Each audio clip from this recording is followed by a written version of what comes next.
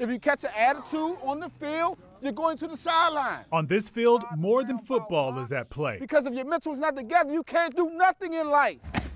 Volunteers with Triumphant Leaders Mentoring Program in Southeast are actively trying to help these young men avoid trouble in their neighborhood. Drive-throughs, drive-bys, gunshots at night, gunshots in daylight, just constantly.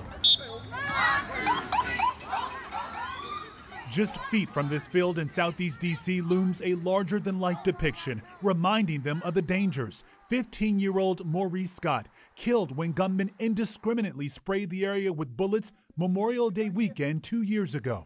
What y'all just did is what happens in life. Y'all worked hard. Most of these kids didn't know Maurice, but his story is no stranger, especially for 13 year old Elijah Hamilton. You have days when you wonder if, if this is it? You just never know, because you could step outside, car could ride past, and next you know, you could just get shot, just like that.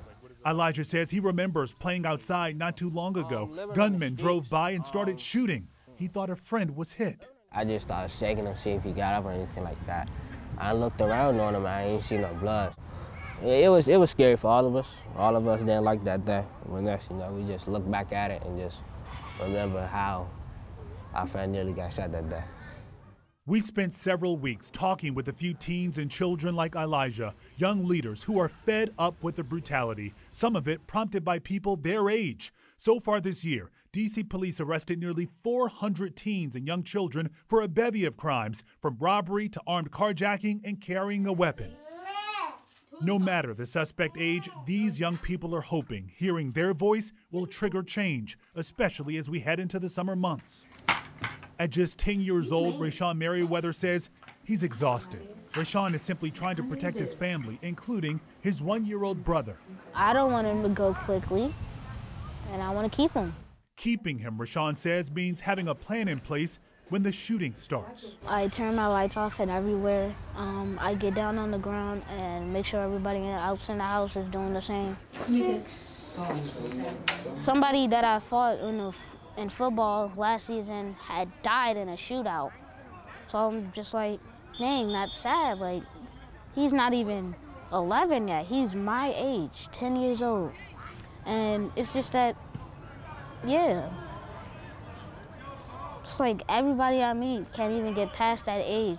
Yeah, it's very easy. This 16 year old at Dunbar High School is still feeling the pain from 10 year old Makiyah Wilson's murder in the summer of 2018. He has to get counseling shortly after. It would just feel like, I don't know, I want to feeling myself or like, I just feel like it wasn't me after I heard about it. I wasn't feel like, I feel like I need to get back to my regular self before I heard about it. Between that perpetual pain and the temptation to veer off the right path, Josh Fenner says he had to come up with a plan to deal with it all. You're actively trying to like avoid it. Yeah, that's what I see. Like, I'm, out, I'm in a program. That program is Stay Prime, started by a teacher at Dunbar High, specifically to steer students out of their neighborhood and away from trouble. As Josh sees it, he's pedaling toward his dream. At one point in time, I didn't like going to school. I want to be a teacher. And be a teacher. Yeah. You want fuss about it? As for Rashawn, he has big plans for adulthood. I'm going to save the poor people and save the people who are down.